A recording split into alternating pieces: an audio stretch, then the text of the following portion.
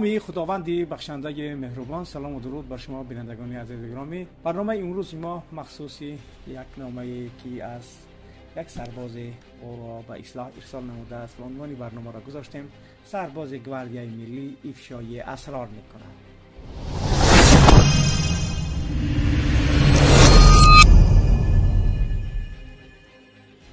فرمان امام علی رحمانوف برای دعوت تیرماهی جوانان به صف قواهای مسلح تاجیکستان 31 اوگوست سال جاری صادر گردید در ماه های اکتبر نوامبر موسم ابله و شروع می شود این موسم سال هاست که در خاندان هر یک تاجیکستانی یک پسری سینی سربازی دارد. یأس و غم و اندوه و ترس و وحشت را پیش می آورد با هزار و یک مکر و فند و فریب تلاش می کند که جوانها را مجبور به خدمت سربازی برند.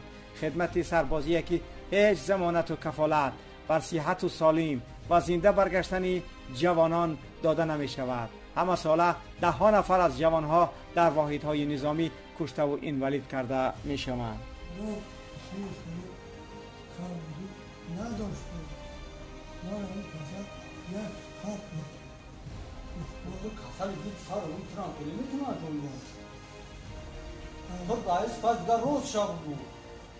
چه دیگه اون را باید تو بگو تو دیگه نمیگردی نمیره اونجا نه گفتی همون شهدن در خانده شد بود را خیزن هم خیزن هم اما خیلی شد نو ممکنی ساری خانمش چومدن میگه بنابر معلومات های به ما رسیده بینندگان عزیز و گرامی شماره دعوت شونده ها در قیاس با دعوت بهاری این سال زیادتر بوده است مسئله جلب سربازها که در بین مردم و ابله و مشهور است. یک فاجعه بزرگ است و شرایط آنهایی که به صف نیروهای مسلح جلب می شوند یک مشکلی جدی دیگر است واقعا. مردم نمی‌خواهد که پسرش به خدمت عسکری برده شود و خود جوانها هم حاضر نیستند که به عسکری بروند. این حالت در شرایط تاجیکستان طبیعی است چون که برای مثال از خانواده رحمانوف و اطرافیانش یک کس خدمت سربازی نمی رود اما پسر مردم باید برود و آنها را حمایت کند. چرا؟ چرا باید رستم در 20 سالگی گنرال شود؟ در حالی که در دستش یک مراتب افت را نخپیده است. اما پسری مردم رود و مرده مرد با شکمی گرسنه سرحد افغانستان را بانی کند و یا سرحد قرقیزستان را. این هم در حال است بیننده گرامی جوانی سرباز در ارتش روزی سیاه دارد. اینجا حکایت یک سربازی را می آوریم که سالها پیش در گواردی ملی خدمت کرده و حالا در امریکا با سر می برد شرایطی را که این برادر حکایت کرد امروز هم همان حالت است بلکه بدتر از آن می باشد муфаттишони додистони низомии тоҷикистон сабаби марги як сарбозро ки хонаводааш иддао дорад дар гулӯи ӯ захми тирро диданд худкушӣ номид раҷабалӣ каримови 21сола сокини ноҳияи ҳисор дар ҳайати горди миллӣ дар шараки навоботи ноҳияираш хидмат мекард. Ҷасади ӯро рӯзи сеюми май ба наздиконаш супурданд раҷабалӣ каримов соли гузашта аз деҳаи ниёгони ҷамоати дурбати ноҳияи ҳисор ба артиш ҷалб шуд ва аз муҳлати хидматаш як солу ду моҳ гузашта буд.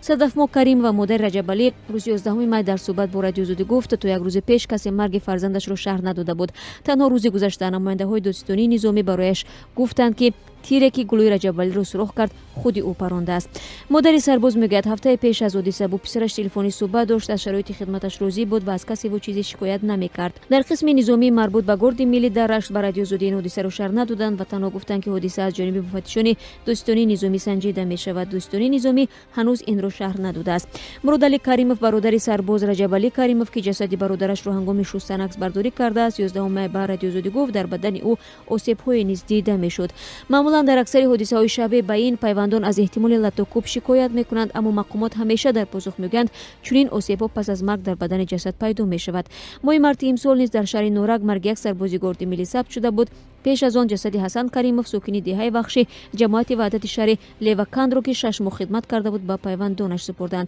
мақомот гуфтанд ки ду афсар дар робита ба ин ҳодиса боздошт шуданд вале ҷузъиёте аз ин ҳодисаро надоданд از سال 2008 تا سال 2010 در گواردیای ملی دوره خدمت سربازی را انجام دادم. 13 سال شد که می‌خواستم این مسئله را با مردم برسانم اما از جانم میترسیدم و خاموش بودم.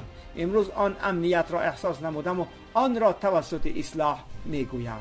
از خدمت من در گواردی ملی سه ماه میگذشت. ملدای بودیم. سه نفر در صف راست در قسم حربی راه گشته ایستاده بودیم. از آشانه سیم یک دیبل مرا فریاد کرد که با من آبی نوشیدنی بیاوره ما راضی شده گفتیم که حاضر می‌بریم. او سرش را درونی تیرزه کرد. بعد بین ما سه نفر یک کمی بحث شد که کی باید آب را ببرد. تو را تو بر تو می‌بری کردیم. در این وقت وای کلش را برآورده گوش می‌کرده است. وای از بالا داد زد که با من آب لازم نیست. شما هر سیتون پیش من برای ما پیشش برآمدیم. وای گفت که همچون پارلیاژ را پرینیمت می‌کنید. پارلیاژ ایستادیم که ما را با پایهایش به زدن درآمد. اول مرا سه بار با پایش زد بعد سه بار یک برادر را که از طولا بود او را زد وای را دو بار زده بود که داد زد و روی فرش افتاد تنک شد خواب رفت روی زمین.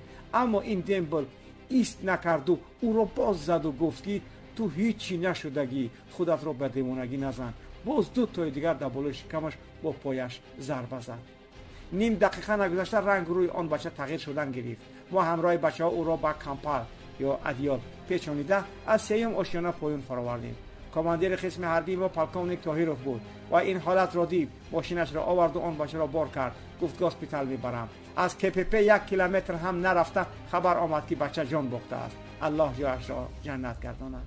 بعد بچه را экспертиза بردن در حالی که یونا این дембель او را زده کشته بود. و باور داشتیم که او را суд می‌کنند اما از این میان چند روز گذشت با آن بچه چیزی نشد. экспертиза قرار برآورد باورتان نمی شود روز ایدی قربان بود و قسم های حربی آدم های خیرخواه و گزیل ها در دیگ ها آش می آوردند الله از آنها راضی باشد. برکت کارهایشان را دهد. экспертиза خلاصه می که این بچه نفسش را بد کرده آش را بسیاری بد خورده است کنید یک شرمندگی است.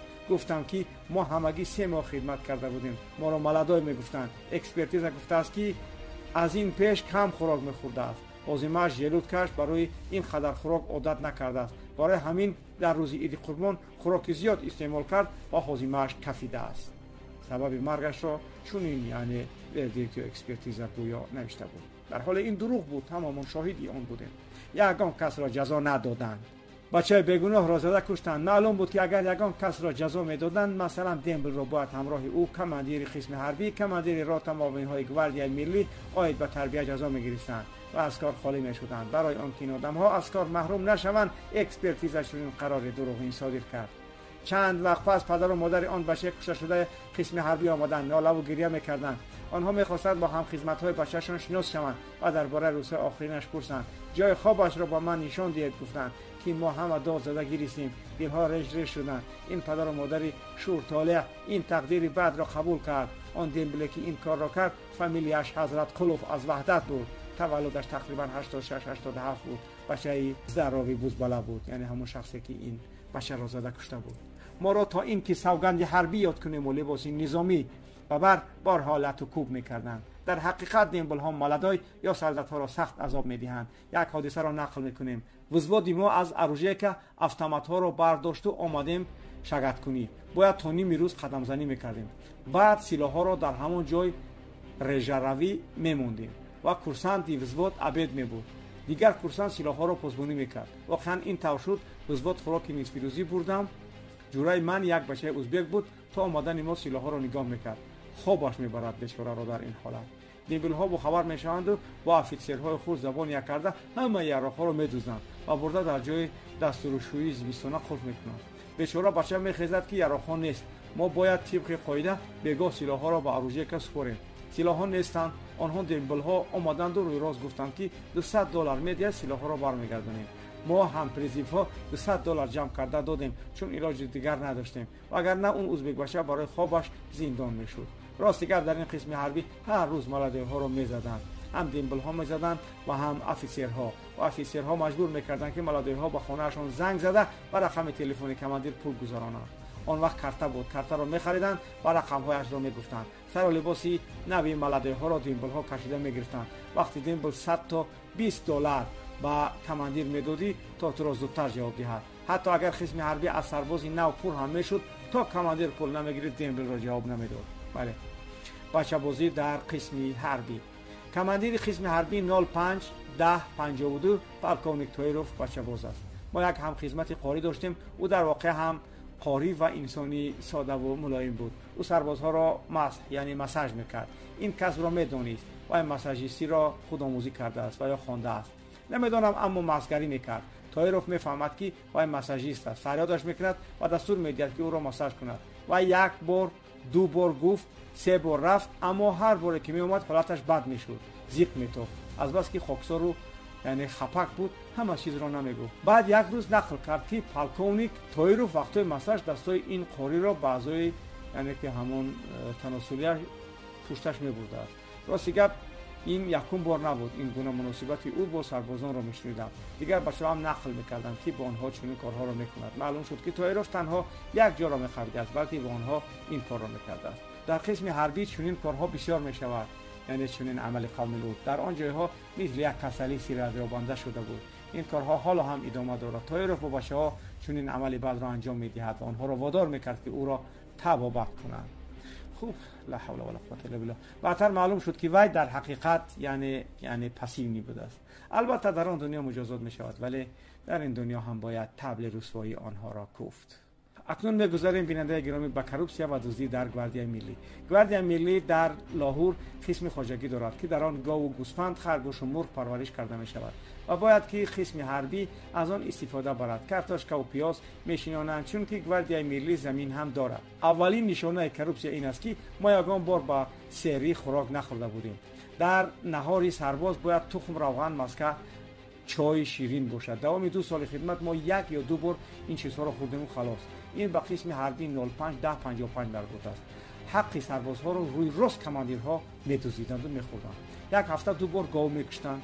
برای بریگاده 05 10 55 ما چون گفتیم کارتوشکا پیاز سبزی لوبیا. و دیگر سبزیجات داشتیم لیکن ما هیچ چیز را نمی‌دیدیم. گراخ میخوردیم. همین گراخ هم در درون کاسه دو سه دانه گراخ می آمد تمام. همه چیز را از قسم خواجگی می آوردند зампотыл مسئول قسم تامینات سرش лейтенант جورای سردار قسم حربی ما بود. آن وقت سردار قسم حربی 05 55 полковник علی جان حسنов تقایبش بود. من شخصا خودم این همه محصولات غذایی را با ماشینش همراه با دیگر سربازها بار می‌کردیم. حق حلال سربازها را گوشت را بار می‌کردیم. картошка پیاز سبزی و آرد روغن را بار می‌کردیم. هر هفته یا دو هفته یک بار همه این продукт ها را بار می‌کردیم. گرفته میبود.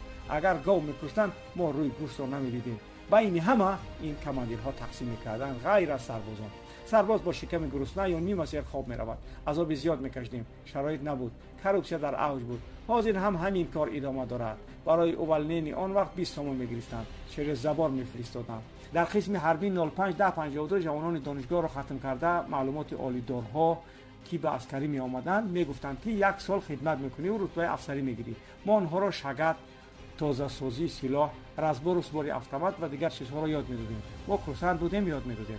آنجا کماندیر قسم حربی 0552 پالکونیک تویروف پاسیل نی یاردمچی داشت همان پالکونیکی خوب بچه باز پاسیل نیوی مصطفی نام داشت. نفران معلومات آیلادار میترسانیدند که ما شما را آبی گرم روی می‌کنیم. من کجا بودن آبی گرم را نمی‌دانستم. یگان بار هم رفتگی نیستم آبی گرم. اما تا همین امروز من آنجا را رنگی دوزخ می‌دونم. тавба он ҷавонҳои дипломдорро ки акнун афсар мешуданд метарсонданд ки агар 300 доллар надиҳӣ туро обигар мефиристем онҳо маҷбур пул медоданд. Ҳамон пасилни пулро ҷамъ мекард. Пасилни ҳам сарбоз буд ҳам призивник буд. Баъд пули ҷамъоварда кардаашро ба полковник тоиров медод. Вай аммо сари қавлаш намеистод. 90 фоизи он пул медоданд 200 300 долларӣ ки ба оби гарм равон накунанд. پنج شش ماه با همین طریقه پول ها را جمع کرد. یک بار مصطفی تخمینا در یک روزی معین از همه پول بگیرد پنج شش هزار دلار در عموم جمع می‌کنه. مصطفی این پول را جمع کرده همون شب از زبار برآمده از خدمت میگریزد و تویروفا کیدت می‌کنه پالکونیک تویروف تمام دیگر میمونه. این چند روز خبر خورسندی ما سربازان بود چون که مصطفی در کارهای کروپسیونی تویروف یاردم می‌کرد. ما او را بد می‌دیدیم ولی این کار را کرد ما خرسند شدیم. و اگر رفت مسکو دوام کار چی شد دیگر نمی‌دونیم. اما دیگر ندیدیم او را. اما مصطفی تویروف را خیلی هم خوش رو کیدت کرده بود. باز یک عمل کروپسیونی در گواردیای ملی. تا همین امروز ادامه دارد. در همه قسم های حربی از اولین گرفته تا دیگر کار پورگیری در اوج است. سرژان شدم نه خدمت می‌کردم اما یگان بار اولین یا اتوبوس نرفتم. پول نمی‌دادم. شرایط اویله هم خوب نبود. یک نمود کروپسیا در ارتش این است که مثلا پدر و مادر می‌خواهد که پسرش در جای خودش خدمت کند برای перевод یک سرباز از دوشنبه به سوغد 600 دلار می‌دادند. این یک бизнес خیلی کلان است. خیلی آدم های پولدار یعنی یا اینکه پول داده بچه‌هاشون رو بردن. یک وقت این کار روزا و تفتیشات شروع شد командир ها زود آن سربازها رو برگرداندن اما یک دو سه ماه گذشته بود که باز از نو آن سربازها رو بر ایوازی باز 600 دلاری به سوغد بردن. حالا همین بیزنس دوام دارد ولی نرخ حالا دو بار بیشتر شده گیرد. اکنون می‌گذاریم به عنوان دیگری که نامشتری واقع است. سال 2009 ما را با تریواگا بانگ خطر از خواب خیزاندند گفتند که به خاک وطن ما هجوم شده است. 36 زر خرید از ازبکستان را با واسطه وقتلیات به زمین های طویل و کوه ها فراوردند ما باید وطن ما را حمایت کنیم. ما که 17 ساله بودیم آنقدر نمیفهمیدیم یگان کس یگان چیز را نمی‌دانید باور می‌کردیم و خونمان هم در جوش بود. نمی‌دونستیم که چی خیل این حکومت است. راست می‌گوید یا دروغ یا حق است یا باطل است. ما یگون کس مخالفت نکرده همه کس رفتیم. ما را بردن طویل آنجا را قلوبای آزیر یا حفظ کبود می‌گویند. ارکه را می‌گذاری 50 60 متری در آمدگاه طویل یک پول واقع است. آنجا بلاک پست سپیس نزدیک گواردیا ملی قرار داشت. ما بسیار رفته بودیم. چند صد نفر ما 24 کس را جدا کرده گفتم که شتاب و بلاک پست سپیس نزدیک گواردیا را ایواز می‌کنید. من با یک معیار استثنا هم صحبت شدم پرسیدم که اینجا چی گپ است نمی‌خواستیم که 17 ساله از دنیا رویم. گفت که خاطر نشوین اینجا هیچ گپ نیست. ما دو هفته هست اینجا هم یگون گپ نیست. آن طرف طرفای چیلره کمتر نارامی است. ما آنجا می‌رویم. شما اینجا میمونید. و همین تر کم تر خاطر ما رو جمع کرد. ما 24 نفر موندیم. 4 نفر سرژنت 20 نفر سرباز قطاری و 3 افسر. ما 24 نفر را تقسیم و 4 بلاک پست تشکیل کردند. گفتند رها و پیره ها را نظارت می‌کنید. یگان چیز شد خبر می‌دهید. یکم شب آرام گذشت. ساعت 3 سحری سیوم ما آوازی ریختن فرامدن و به هم خوردن سنگ ها را میشنویم. سنگ فرامد در پیش بلاک پست. اون وقت ما دوربین های شبین داشتیم. با دوربین ها دیدیم که چند نفر از بالا فرامده ایستادند سنگ ها از زیر پای آنها میریزند. با علاقه برآمده به شتاب گزارش دادیم که وضع همین خیلی است. گفتند کاری نکنید نگاه کنید که چی کار می‌کنند کجا می‌روند. ما میآییم بعد دو نیم ساعت رسیده آمدن پیاده آمدن آن آدم ها از بالای کفر آمدن در آن کوه درخت بسیار است. آن آدم ها پشت همان ارشزار بجا شدند. آنها رو دیده نمی‌شد. چی کار می‌کنند کجا می‌روند؟ یک جای سودگیان در حرکت معلوم نبود. با گفتی روسا آنها زسد افر آمدند ما از بالا بودیم آنها در پایان. جای گرفتن نمی‌توانستند. فرمان شد که طرف ارشاد تلپارون کنیم. ما تجربه نداشتیم. نه تنها ما 90 فایز سربازان تاجیکستان جنگ کردن نمی‌تونن. تجربه ندارن. ما تو اون وقت همگی دو بار سریل بشی رفته بودیم. یعنی سیتوی تیر زده بودیم. البته که چیز رو نمی‌دونیم. 10 12 ساعت فقط تیر خالی کردیم. پرون پرون شد. از طرف آنها هم به سمت ما تیر می اومد یک سرباز تیر خود و جراحت برداشت. ولی از ما یکم کس کشته نشد. چون که موقع ما در بلندی بود و آنها ما را نشان گرفتن نمی‌تونستند ما به ایست تیر میپراندیم بعد از کم تر وقت همه آرام گرفت کماندیر گفت که و فیرم اینها همشان مردند. ما را جمع کرد و گفت زشیسکا میریم. رفتیم زشیسکا هفت هشت جسد پیدا کردیم. در بدن هر کدام آنها کمی کم 70 80 تیر در اومده است. ما نفهمیدیم که آنها کی بودند. و ما گفتند که آنها زرخریدها ازبکستان هستند. تروریست های ازبکستان برای ترکاندن گیس آمدگیاند اما بچه های تنمند و ریشدار بودند. و آنها با ازبکان نه با خودمان مانند بودند. به تاجیک баъд гашти мо омадем штаб шаб хоб кардем саҳар ду генерал ва як полковник омада савишане гузаронданд. Гуфтанд ки мо бояд ҷасадҳоро гур кунем. Азбаски кӯҳҳо сангӣ аст канда намешавад мо манора кандему онҳоро гур кардем. Голаашонро бо санг пӯшида омадем. Як рӯз мегузарад ба мо фармон мешавад ки пиёда бояд равем сечор кӯҳро гузарему ҷасадҳоро биёварем масофа сечор соата роҳ аст. Гуфтанд ки бо дасти холӣ он мурдаҳоро меоваред. Экспертиза равон мекунем. Сарбозони қаторӣ ҳама каса норозӣ шуданд гуфтанд ки мо ин корро намекунем командири қисми ҳарбӣ мо чор сержантро пешаш даъват карду гуфт ки ё ин ки шумо ҷасадҳоро мебиёред ё ин ки ба шумо как непосредственный начальник сержант дар душанбе даҳсоли тюрма обеспечит аст мо чор кас рафтему якумин рӯз он мурдаҳоро кашондем ду кас аз сарбозони қаторӣ бо мо ҳамроҳ шуданд мо намедонем он одамҳо кӣ буданд шояд муҷоҳидини роҳи ҳақ буданд агар ин хел бошад аз از آیله آنها بخشش می‌پرسیم. جایشان جنت باشد.